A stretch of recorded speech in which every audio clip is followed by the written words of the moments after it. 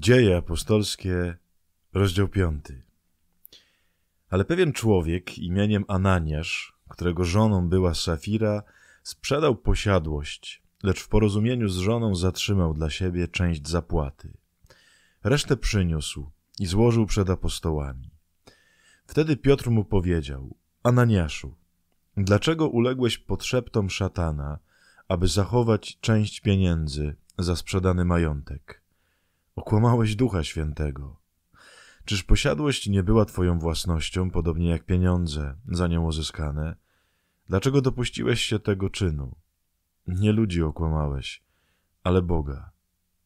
Gdy Ananiasz to usłyszał, padł martwy. Wszyscy zaś, którzy o tym się dowiedzieli, przerazili się. Młodzieńcy wstali, owinęli go w prześcieradło, wynieśli i pochowali. Po upływie trzech godzin, nie wiedząc, co się stało, przyszła jego żona. Zapytał ją Piotr. Powiedz, czy właśnie za tyle sprzedaliście posiadłość? Ona odpowiedziała, tak jest, za tyle. Wtedy Piotr powiedział do niej, dlaczego zmówiliście się, aby wystawić na próbę ducha pańskiego? Oto są już przy wejściu ci, którzy pochowali twojego męża, wyniosą także ciebie. I natychmiast upadła przed nimi i skonała. Gdy weszli młodzieńcy, znaleźli ją martwą, wynieśli ją więc i pochowali obok męża. A wielkie przerażenie ogarnęło cały Kościół oraz wszystkich, którzy o tym słyszeli. Apostołowie dokonywali wśród ludu wiele znaków i cudów. Zbierali się wszyscy razem w krużganku Salomona, a nikt z obcych nie miał odwagi przyłączyć się do nich. Lud natomiast ich wychwalał. Coraz większa liczba mężczyzn i kobiet przyłączała się do tych, którzy wierzyli w Pana. Na ulicę wynoszono chorych, kładziono na łóżkach i noszach, aby na któregoś z nich padł choć cień przechodzącego Piotra. Do Jeruzalem schodziło się także wielu ludzi z sąsiednich miejscowości. Przynosili oni chorych i tych, których dręczyły duchy nieczyste. I wszyscy odzyskiwali zdrowie. Wówczas najwyższy kapłan i wszyscy jego zwolennicy ze stronnictwa saduceuszów, pełni zawiści, zatrzymali apostołów i wtrącili ich do publicznego więzienia.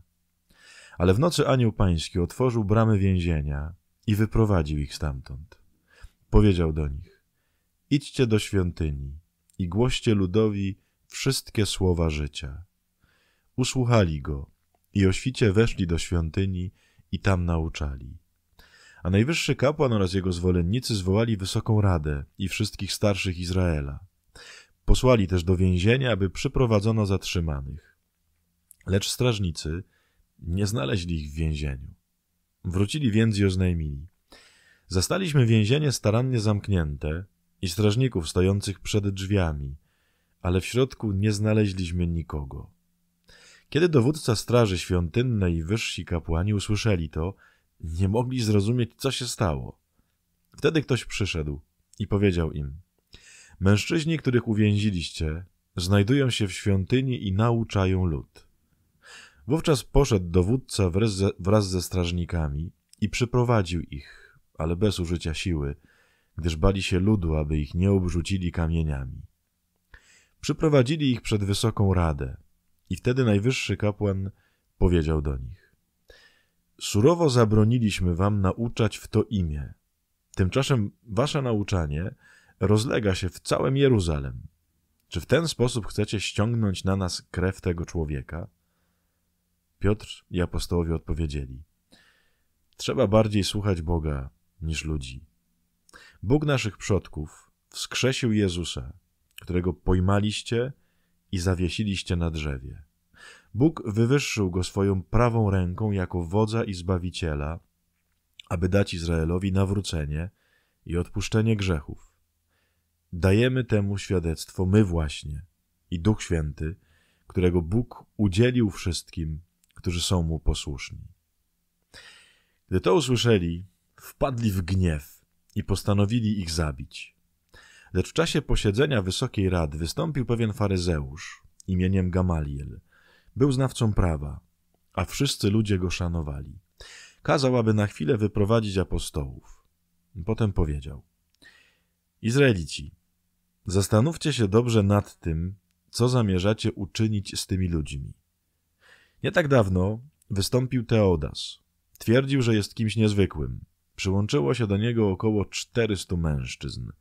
Zabito go jednak, a wszyscy, którzy dali mu się przekonać, rozproszyli się i słuch o nich zaginął. Potem w czasie spisu ludności wystąpił Judasz Galilejczyk.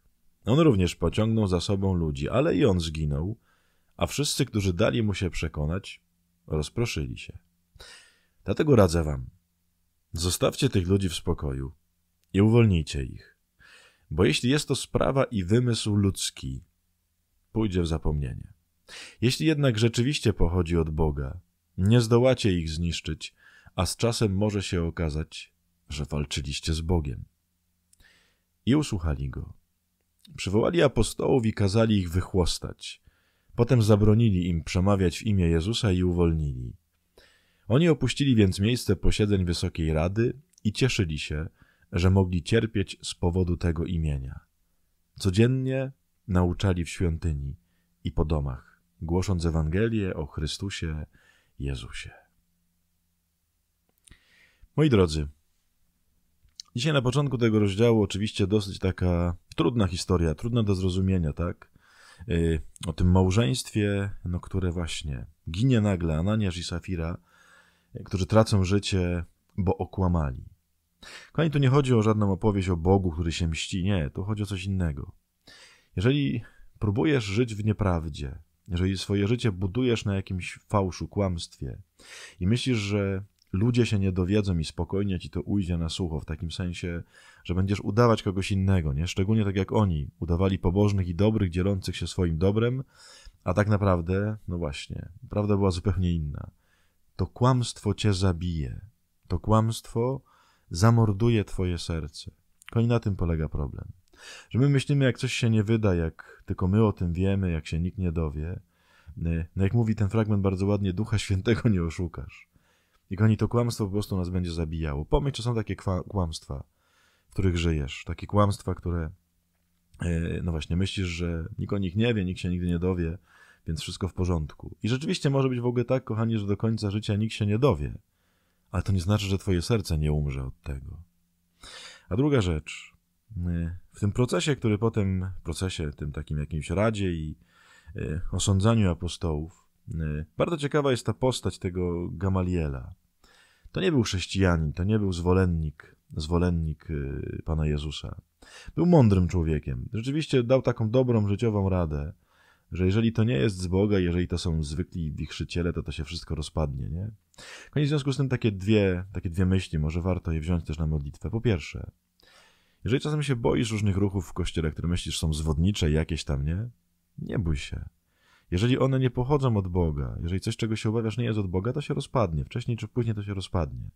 My tak się boimy oczywiście, że o, tu jakieś tam wchodzą złe prądy do kościoła. Jeżeli one nie są od Boga, one się rozpadną, kochani, tak jak mówi Gamaliel. A druga rzecz, również od ludzi, którzy nie są twoimi zwolennikami, którzy nie są twoimi przyjaciółmi, czasem przychodzi pomoc. Jesteś otwarty na to? Czy w związku z tym, że ktoś ci nie po drodze, to już go skreślasz. Okazuje się, że Pan Bóg może wysłać człowieka, niechrześcijanina, żeby cię ocalić. Może warto mieć takie otwarte oczy. O tym, kochani, dzisiaj na modlitwie pomyślcie.